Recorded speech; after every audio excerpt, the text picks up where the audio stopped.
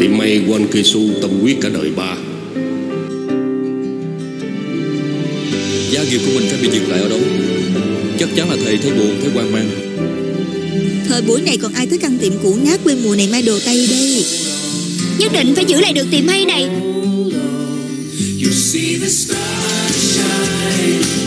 Chúc mừng giám đốc Lee Dong Jin Ngày đầu tiên tới đây làm việc Thừa kế sự nghiệp gia đình là một việc vô cùng ý nghĩa. Sự nghiệp? Anh nói cái tiệm may như cái mắt mũi này sao? Tiệm may này tạo ra sức mạnh Tạo ra hy vọng.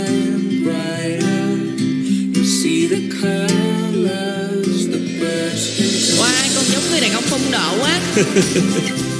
Ba vẫn mong con có thể làm chuyện con muốn làm. Gia đình Veston 18 giờ tối nay trên kênh HTV2 V Channel